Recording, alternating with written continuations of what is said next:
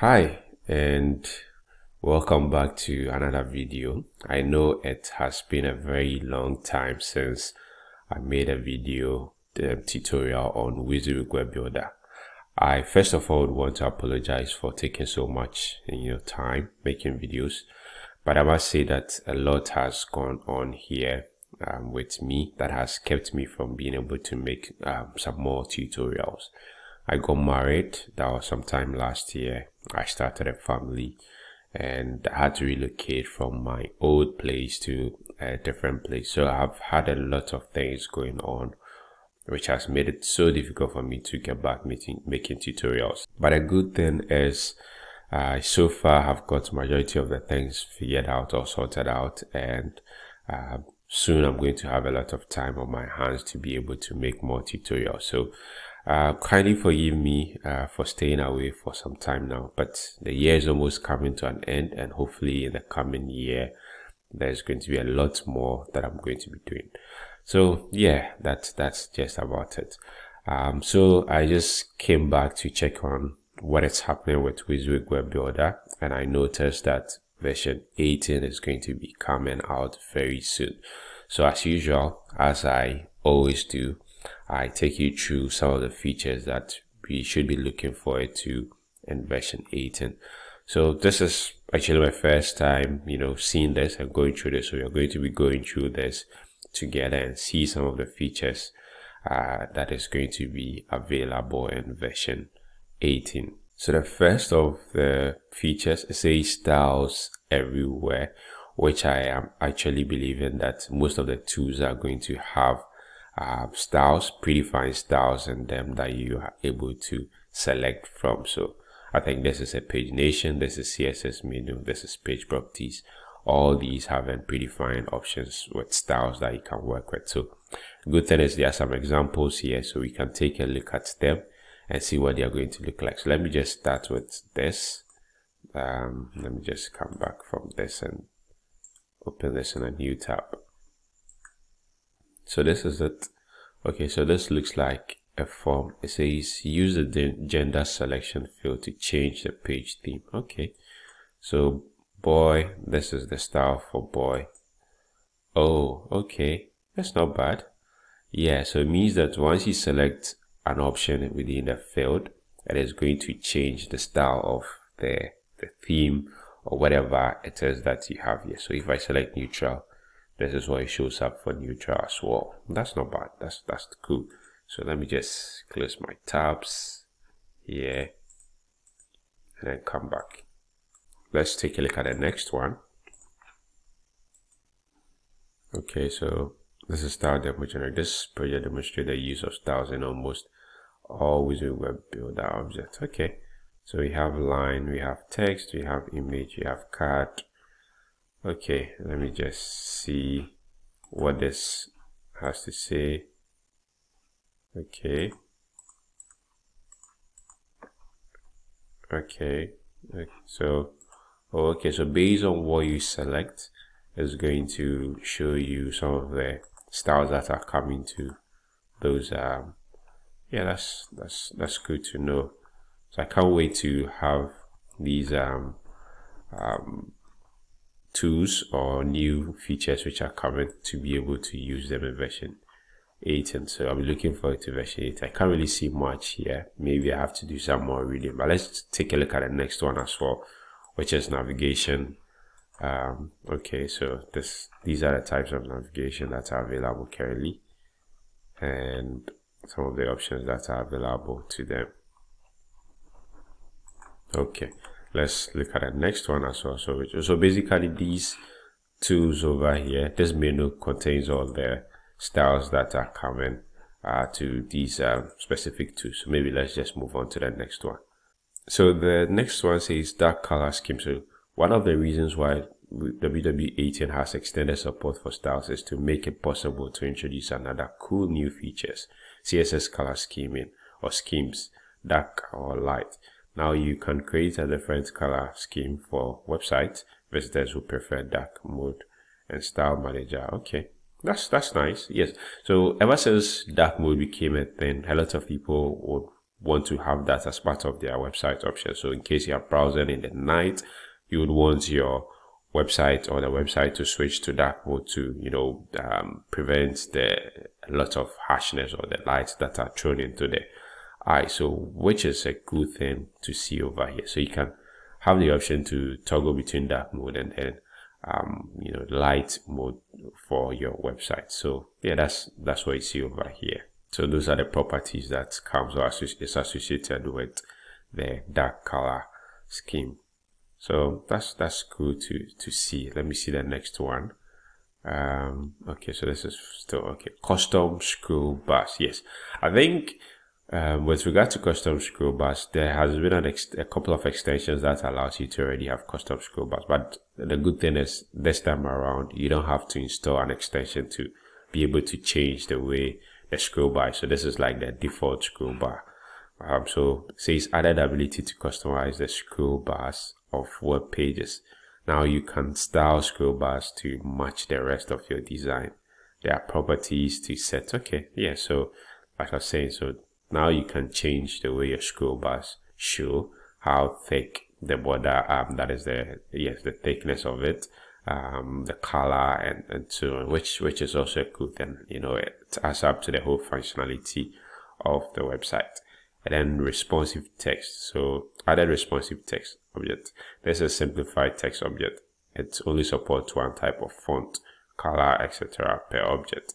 It's this makes the object easier manageable in complex layout. Okay, so um, added option for responsive text. Now, responsive text has already been part of a feature for WYSIWYG Web Builder. That is you being able to change text to make them responsive. But it looks like this is going to be a dedicated text um, object, which is purposely for responsive text. And I'm sure it's going to have some limitations. That is to the font, to the colors that you can set to it and so on but I'm, be looking forward to see it so I can try it out and see how that is going to be. And then you have here, then it says added support for line height.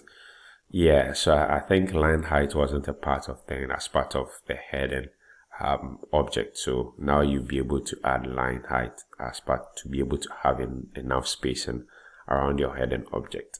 And then you have SEO Assistant. So yes, SEO Assistant has been available in version 17 that allows you to uh, or guides you to be able to uh, make your website search engine friendly. So let's see what this is going to do. It says added missing keyword SEO targeting functionality. This option uses the keywords from the page properties meta tags and checks whether these words are actually used in the page title description. Okay, so this is not bad.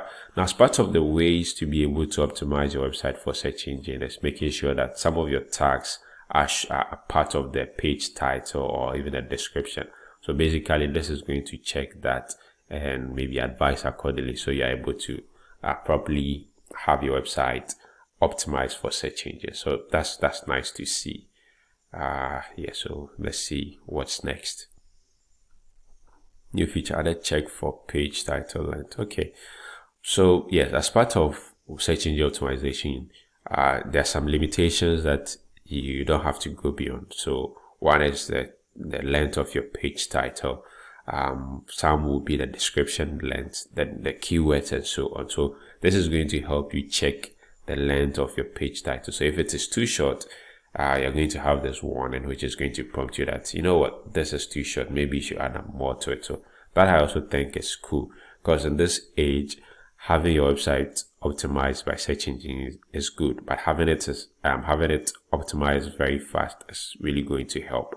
So I think that is also going to uh, be a good feature to see in version um, 18. And then the next one is sections. So uh, many users love cards because they are easy to create great looking content blocks.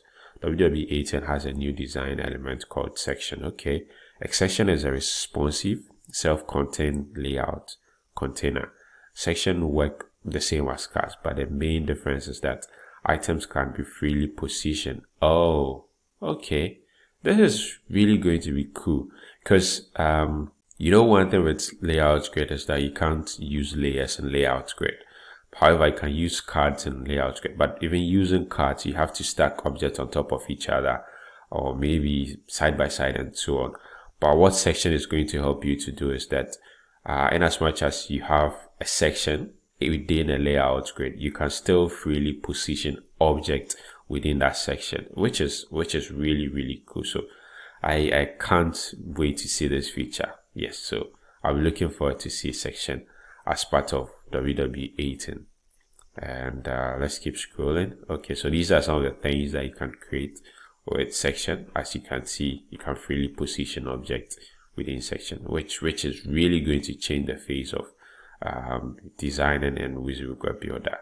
And then you have card says added support for motion effects. Okay, so motion effects has also been a part of Web Builder, but this time around you can use it within cards, which which is cool.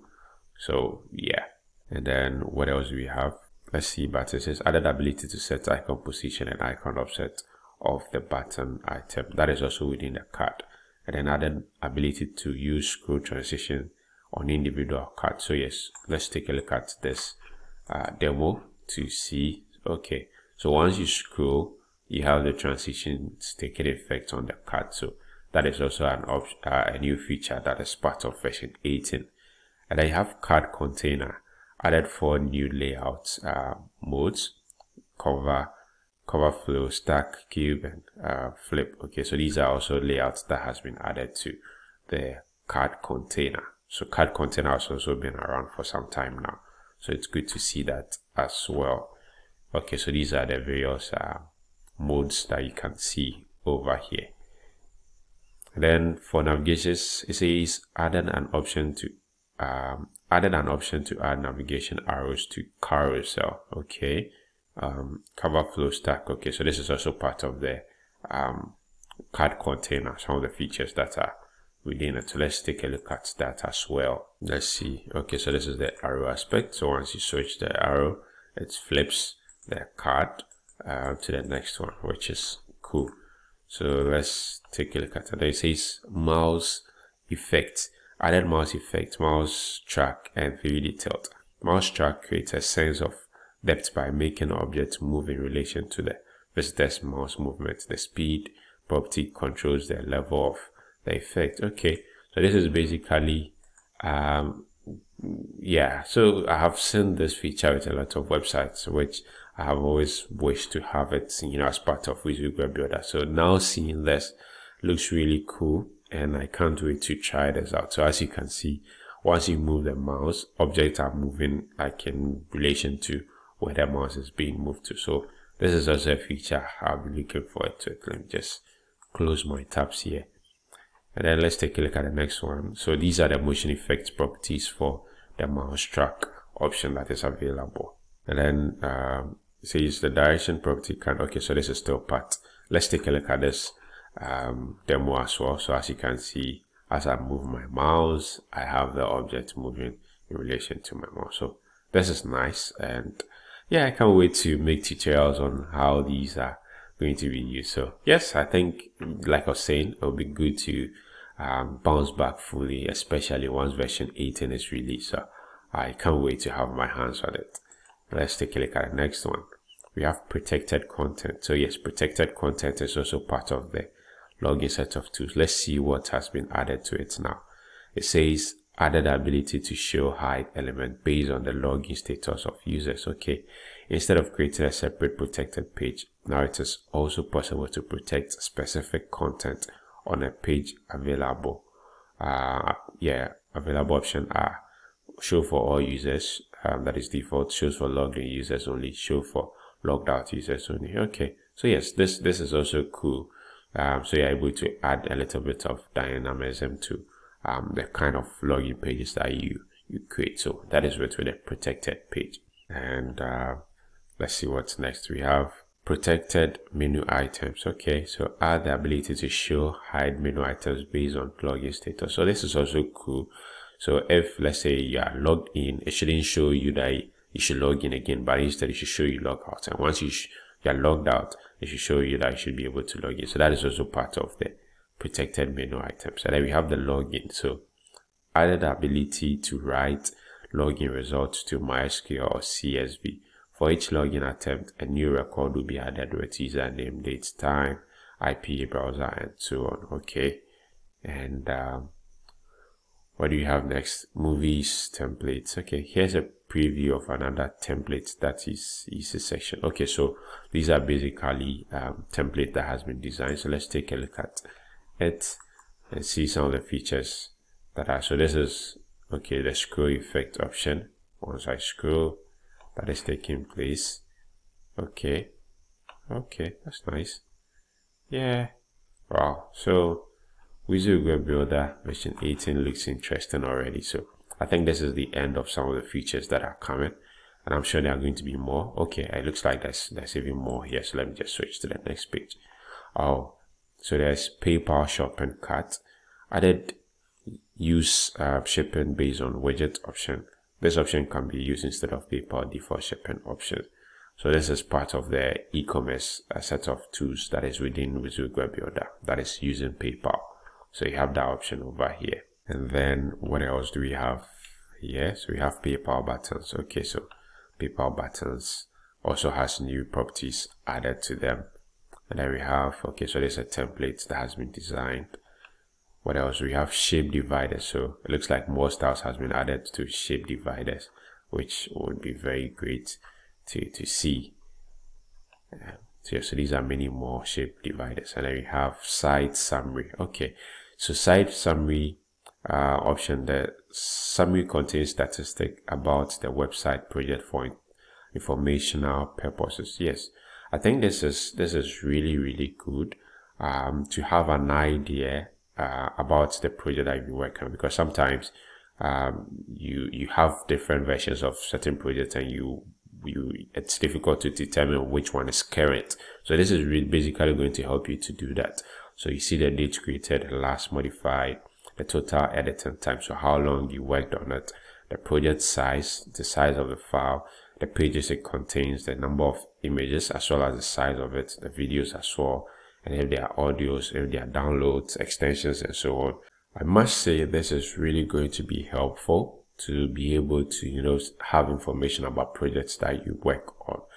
And then um, we have Asset Manager added filter type the file. So display a list of downloads in the project. Okay so this is also to be able to um, add a filter to the asset manager. And uh, let's keep scrolling.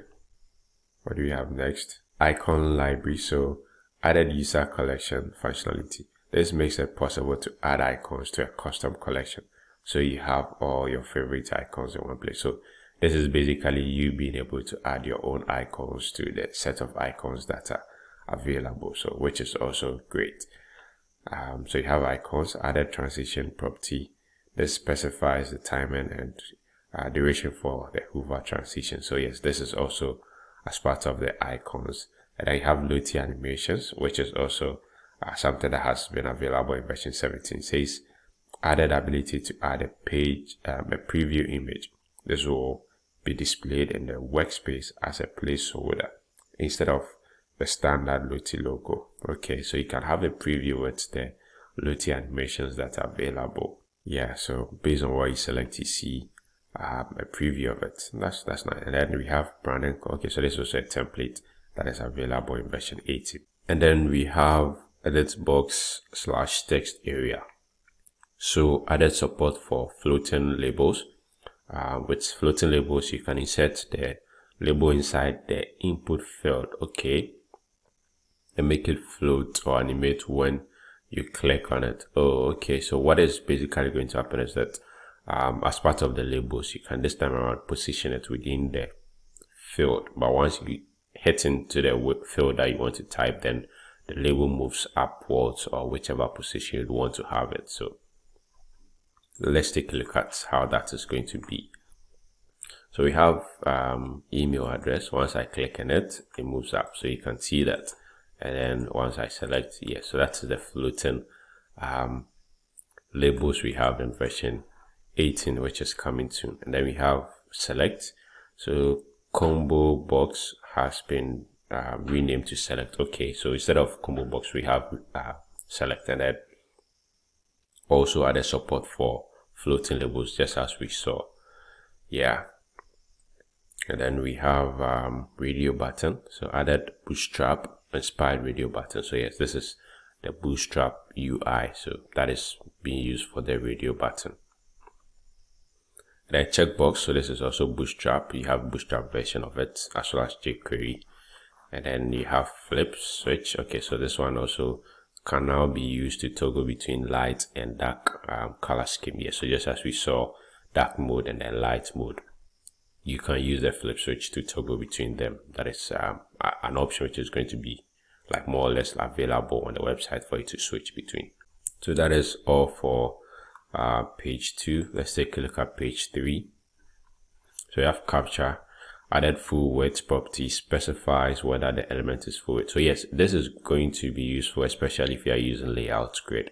So you can um, switch the CAPTCHA to full full width. Because sometimes it comes a little bit awkward when you have a full width page but your CAPTCHA is just something small in there. So this is going to allow you to um, switch your CAPTCHA to full width. And then you have image comparison. So this is going to be more or less like a before and after sort of um, option where you're able to use this particular um, tool to be able to do that. And so let's just keep uh, let's take a look at the demo of this.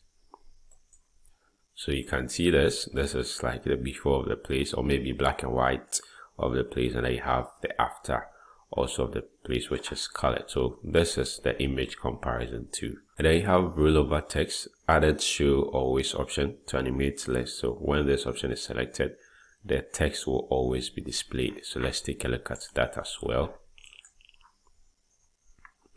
Oh okay. So okay. That's that's that's nice. So this is more or less like um, animated or animations available with regard to the rollover text and then you have banner so other ability to control text animation of banner with event media. So these are the um, events that you can control within the banner um, too. So let's take a look at this also here.